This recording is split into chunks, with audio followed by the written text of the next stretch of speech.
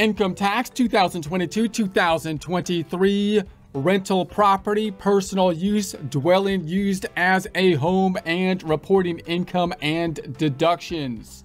Let's do some wealth preservation with some tax preparation. Most of this information comes from publication 527 Residential Rental Property, including rental of vacation homes tax year 2022. You can find on the IRS website irs.gov, irs.gov. Support accounting instruction by clicking the link below, giving you a free month membership to all of the content on our website, broken out by category, further broken out by course. Each course then organized in a logical, reasonable fashion, making it much more easy to find what you need than can be done on a YouTube page. We also include added resources such as Excel practice problems, PDF files, and more like QuickBooks backup files when applicable. So once again, click the link below for a free month membership to our website and all the content on it. Looking at the income tax formula, we're focused on line one income. Remember, in the first half of the income tax formula is in essence an income statement but just an outline. Other forms and schedules flowing into these line items, for example, the Schedule E, in essence, an income statement in and of itself with rental income minus rental expenses, the net rental income, in essence, rolling into line one income of the income tax formula. We're now continuing on with these more complex type of situations where there might be a personal use component with the rental property, remembering that with rental property, as with business kind of activities, we'd like to keep it separate from the personal activities. That helps us to do the bookkeeping, helps us to do planning, budgeting into the future, and helps us, of course, with the tax preparation. But sometimes we have to, some commingling kind of situations happen, in which case most of the rules that we talked about in prior presentations when we focused on just a piece of property that's used for rental exclusively will still apply, but now we have to un uh, separate out, parse out the business and personal oftentimes when we have uh, these types of situations, and that's what we're continuing on with here. So what is a day of personal use? So a day of personal use of a dwelling unit is any day that the unit is used by any of the following persons. So we talked about in prior presentations breaking out the days that are for personal use so we can uh, do some of these calculations in terms of whether it is uh, qualified as a home and then of course we need to be breaking out the the expenses between personal and business. Okay, number one, you or any other person who owns an interest in it unless you rent it to another owner as your main home under a share equity financing agreement defined later. Uh, however, see days used as a main home before or after renting later. Number two, a member of your family or a member of the family of any other person who owns an interest in it unless the family member uses the dwelling unit as their main home and pays a fair rental price. So obviously, when we're thinking about personal use, if we personally use the property, that's pretty straightforward. But if we have some family member or someone like that that's using the property, if they're paying the fair price, then you would think, okay, now it's it's still like a business transaction. That gets messy because then we have to think about what the fair price is and so on and so forth because it's not an arm's length transaction because they're a relative. Uh, and if they're if they're not paying the fair price, then you're thinking it could be counting towards the personal use day uh, at that point. So family includes only your spouse, sibling, half sibling, uh, ancestors, parents, grandparents, etc and lineal descendants, children, uh, grandchildren, etc. Number three, anyone under an arrangement that lets you use some other dwelling unit. And number four, anyone uh, at less than a fair rental price.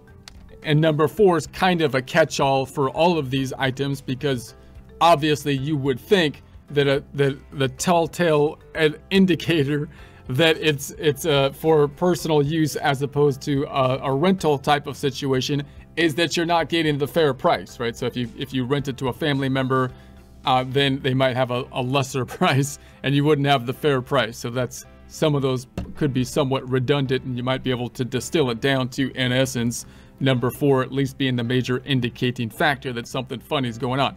Main home. So if the other person or member of the family in one or two has more than one home, their main home is ordinarily the one they lived in most of the time. So now we have a situation of needing to figure the main home type of situation. What does that mean if you're living in multiple places? Well, we're going to say it's the one you lived in most of the time. So shared equity financing agreement. So this is an agreement under which two or more persons acquire undivided interest for more than 50 years in an entire dwelling unit, including the land and one or more of the co-owners is entitled to occupy the unit as their main home uh, upon payment of rent to the other co-owners. All right, donation of use of the property. You use a dwelling unit for personal purposes if you donate the use of the unit uh, to a charitable organization. So now you're not renting it out, you're based you're you're donating it to a charitable organization. The organization sells the use of the unit at a fundraising event and the purchaser uses the unit. So examples. The following examples show how to determine if you have days of personal use. Example number one, you and your neighbor or co-owners of a condominium at the beach. Last year, you rented the unit uh, to vacationers whenever possible. The unit wasn't used as a main home by anyone, so you've got this vacation type of home and it's it's not anyone's principal residence because everyone that's basically lived in it or used it has some other place basically that is is their principal residence because they've lived there longer for that year than this place. All right, your neighborhood used the unit for 2 weeks last year. Your neighbor used the unit for 2 weeks last year. You didn't use you didn't use it at all because your neighbor has an interest in the unit. Both you both of you are considered to have used the unit for personal purposes during those two weeks. Because of course the neighbor is a co-owner. So example two, you and your neighbor are co-owners of a house under a shared equity financing arrangement. Your neighbors, uh, your neighbors live in the house and pay you a fair rental price. Even though your neighbors have an interest in the house, the days your neighbors live there aren't counted as days of personal use by you. This is because your neighbors rent the house as their main home under a shared equity financing arrangement. Example three, you own rental property that you rent to your son. So now we've got this relationship kind of weird situation, which is common, but obviously throws a wrench into things. Your son doesn't own any interest in this property. He uses it as his main home and pays you a fair rental price. Your son's use of the property isn't personal use uh, by you because your son is using it as his main home. He owns no interest in the property and he is paying you a fair rental price. So when we're dealing with family situations, a father-son type of situation, this is where it gets kind kind of messy because you have to determine these types of things. So so obviously, if we think about this again, you got the son living there, so uh, uh, is using it as his main home. He owns no interest in the property, so the son doesn't own the property, so it looks like a legitimate rental situation from that perspective. And then, of course, the key one here, he is paying you a fair rental price. What does a fair rental price mean? Well, it's tough to determine because all rental property is unique. But you can think that you can have a fair rental price by appraising it, comparing it to other uh, similar type rentals. Example four, you rent your beach house in, uh, to Rosa. Rosa rents her cabin in the mountains to you. So now you're saying, hey, Rosa, I got a beach house. And Rosa's like, I've got a cabin. And we can kind of swap the rental usages, right? So you each pay a fair rental price. You are using your beach house for personal purposes on the days that Rosa uses it because, uh, because your house is used by Rosa under an arrangement that allows you to use her cabin.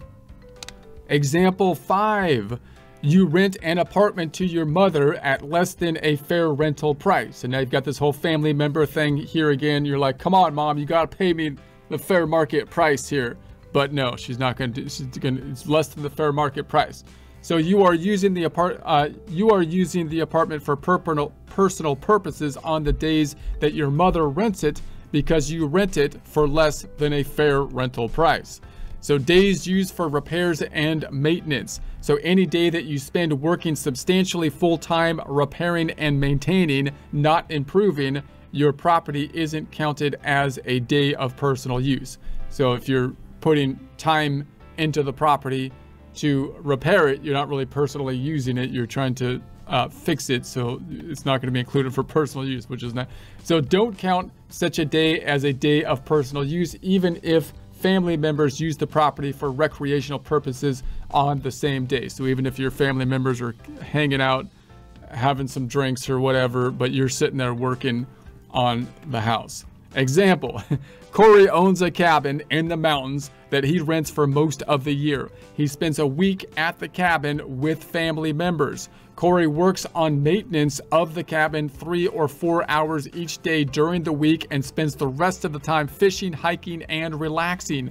Corey's family members, however, work substantially full time on the cabin each day during the week. The main purpose of being at the cabin that week is to do maintenance work. Therefore, the use of the cabin during the week by Corey and his family won't be considered personal use by Corey. Okay. Days used as a main home before or after renting. So for purposes of determining whether a dwelling unit was used as a home, uh, you may not have to count days you use the property as your main home before or after renting it or offering it for rent as days of personal use. Don't count them as days for personal use if you rented or tried to rent the property for 12 or more consecutive months, or you rented or tried to rent the property for a period of less than 12 consecutive months and the period ended because you sold or exchanged the property.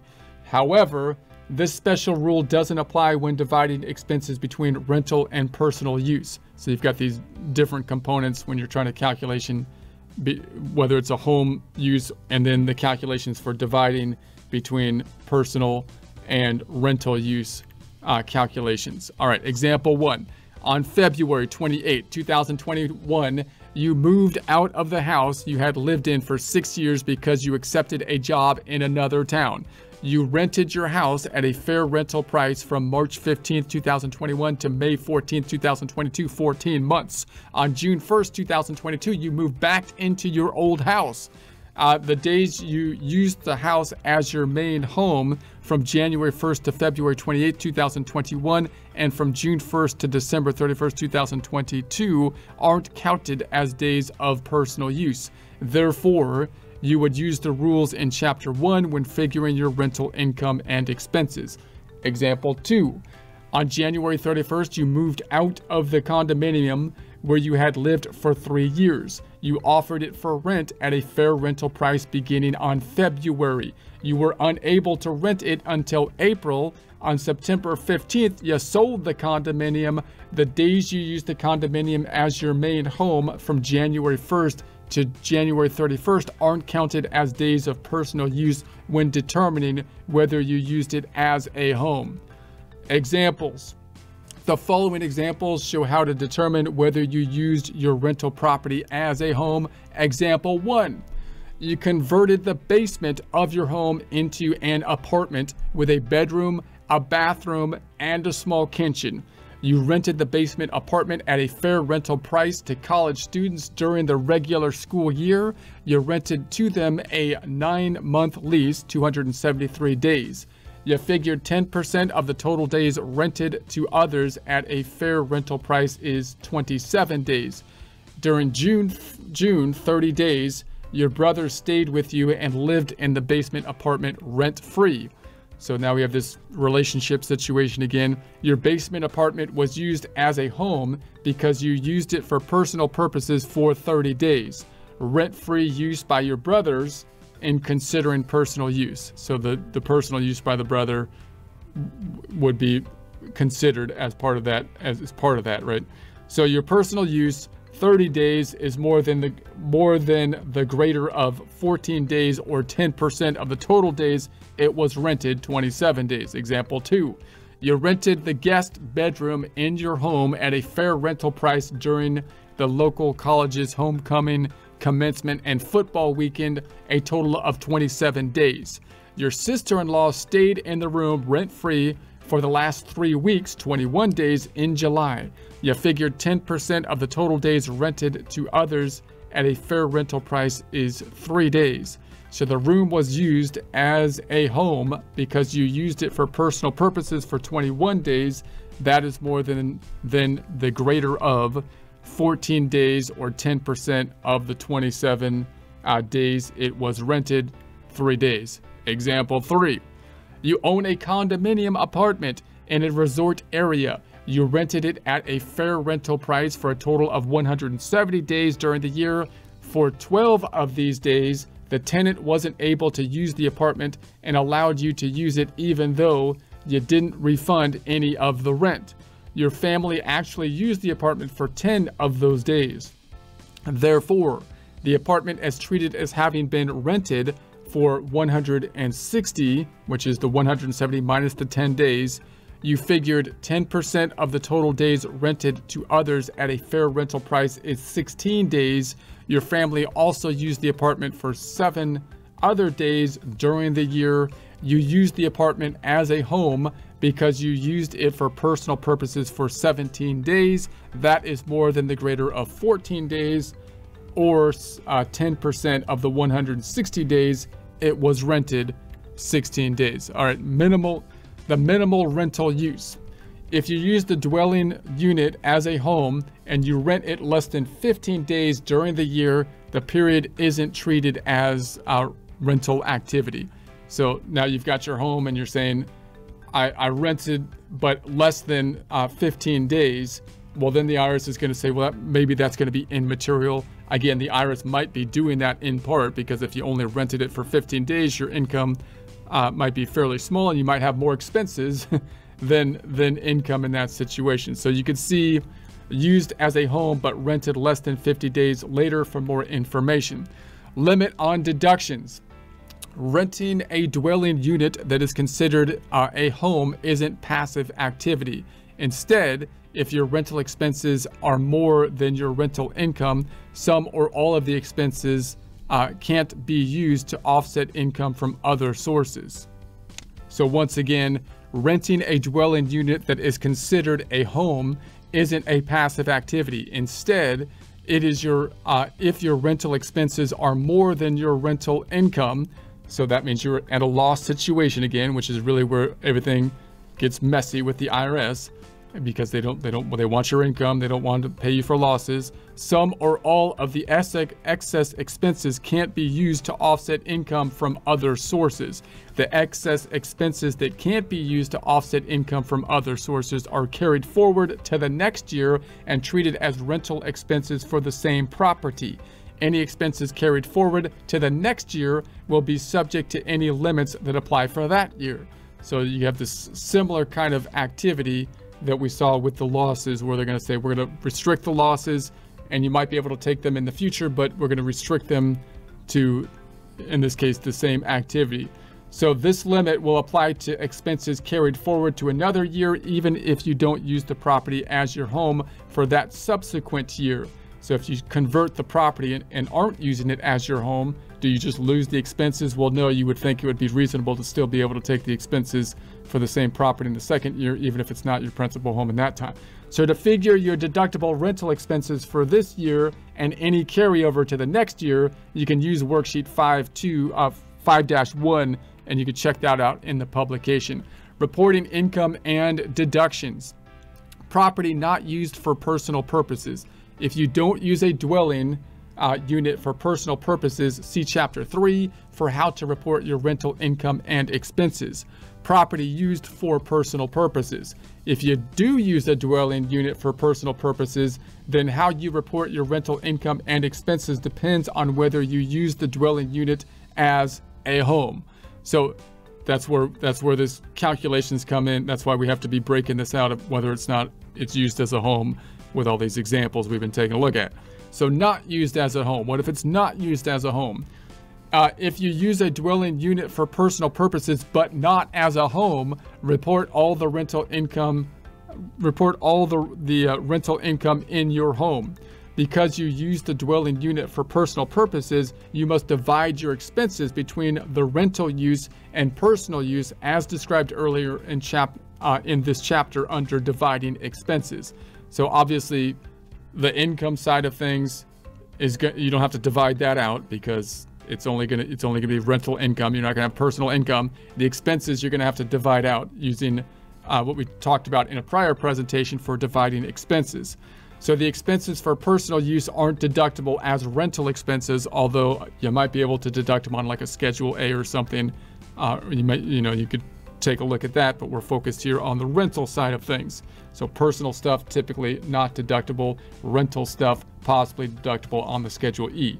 Your deductible rental expenses can be more than your gross rental income. However, see limits on rental losses in Chapter 3. So we have the same kind of situation now. You have the rental property. If you're into the loss situations, then you've, you've got the possible limitations that we covered in Chapter 3 if you want to take a look at the publications which we looked at in prior presentations. Used as a home but rented less than 15 days. If you use a dwelling unit as a home, and you rent it less than 15 days during the year, its primary function isn't considered to be rental and shouldn't be reported on Schedule E. So now we're under that 15 day threshold. We're not going to be using the Schedule E. You aren't required to report report rental income and rental expenses from the activity. So you might think, well, the IRS is giving you a break on this, but they're probably again, they're probably saying, the IRS is probably thinking, well, if you rented it less than 15 days, you got rental income, but you probably have expenses that are equal to or greater than that because the rental income is going to be fairly small. So they're, so that's why they might be saying, we're not going to bother with that, right? So any expenses related to the home, such as mortgage interest, property taxes, and any qualified casualty loss, will be reported as normally allowed on Schedule A. So now, if it's your principal home, and you're under that threshold, you'd say, well, I can't deduct it on the Schedule E because it's under that 15 day. So therefore, I'm going to just see if I can take it on Schedule A as itemized deductions if my itemized deductions are greater than the standard deduction. And so see instructions for the Schedule A for more information on deducting these expenses. I used a home and rented 15 days or more. So now you have it used as a home and you rented for more than that de minimis amount, that small amount, the 15 days. So if you use a dwelling unit as a home and rented it 15 days or more during the year, include all your rental income in your income because you used a dwelling unit for personal purposes. Our purpose. You must divide your expenses between rental use and the personal use as described earlier in this chapter under dividing expenses. The expenses for personal use aren't deductible as rental expenses. If you had a net profit from the renting the dwelling unit for the year, it is uh, your rental income is more than the total expenses, including depreciation. Deduct all your rental uh, expenses. So obviously, if you have an income situation, the the IRS is like, okay, great, give us part of it. So so you don't need to use worksheet 5.1. However, if you had a net loss from renting the dwelling, here's where here's where the problem happens. The losses. That's where the IRS gets upset. Dwelling during the year, your deduction for certain rental expenses is limited. To figure your deductible rental expenses and any carryover to next year, you could use worksheet 5.1. You can see that in the publication.